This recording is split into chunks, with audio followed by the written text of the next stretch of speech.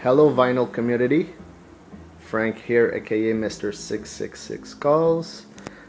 Today we are Monday morning and well it's almost lunchtime and I am yes I'm drinking a good bottle of wine and I have a very good reason for today.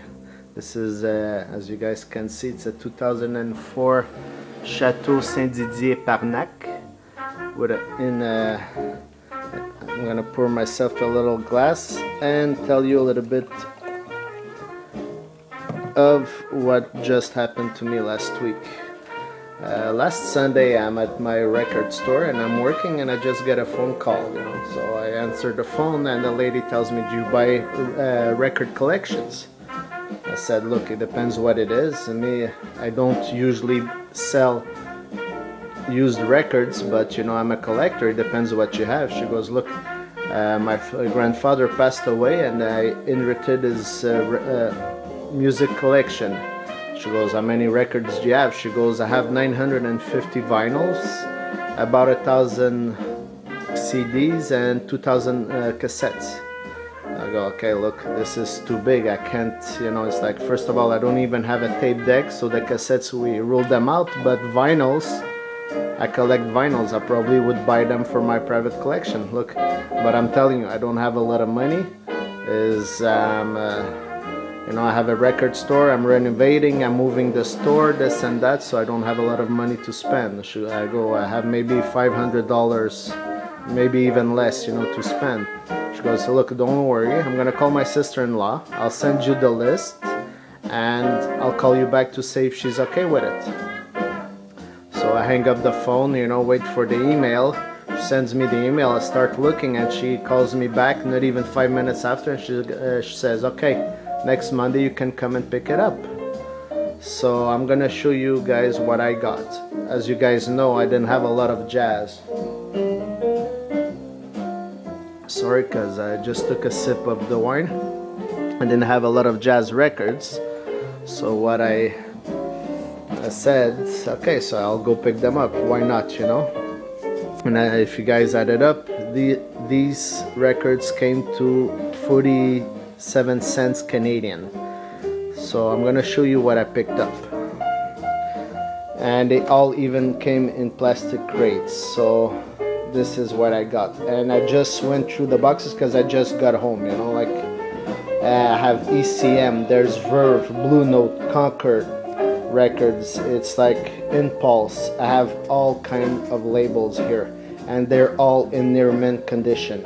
The sleeves are from very good to near mint and uh, i have maybe half a dozen of those records that are signed by the artists i know there's a oliver jones there's oscar peterson steve wallace and reg schwager some that i have signed. As you guys can see all the boxes here and I opened box number 8 and what do I find? I find 12 mosaic vinyl records out of print sold out box sets. Some of them contain up to 12 records and I paid 47 cents for each box set which is just I'm still in heaven, you know, like I can't believe it. This is Christmas, you know, in the month of August. And the lady was nice enough to tell me that she would even throw in all those cassettes. She gave it to me for free in those all cases, as you can see. I still, you know, like I have to pinch myself because I think it's not true.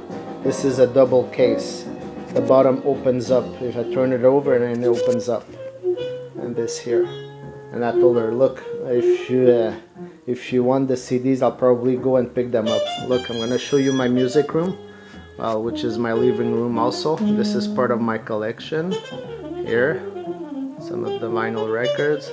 This is my good friend the big uh, bull skull which is going to my store. Some of my CDs and this is my record shelves which are almost empty but I probably have to buy now a new unit for it and to let you guys know I only start buying records from last J January. So which is I think is a pretty good start for a eight month that I'm into record collecting back again. So and this is all thanks to you guys on the vinyl community. So guys, if you guys don't mind, this is actually what you guys are listening to in the background. It's uh, Jon Faddis Young Blood. It's on Pablo Records. And guys, sorry, you guys even saw my bathroom. I'm gonna post this and hope you guys enjoy and leave some comments. They're always appreciated. And this is my sound system. This is our Mirage speakers. This is my TV set. And as you can see, it's just a little Numark turntable, you know. It's like uh, i am not an audiophile nut, so as long as the records play good and it sounds good, I'm a happy man. And I am a very happy man with all these records again, guys. I'm gonna go look through the boxes because I even I just went through the first one fast fast to see which labels that I had in there so and as you guys guessed I will do uh, dozens of videos to show you what I listened to and what I got. Okay hope you guys enjoy. See ya and keep the vinyl spinning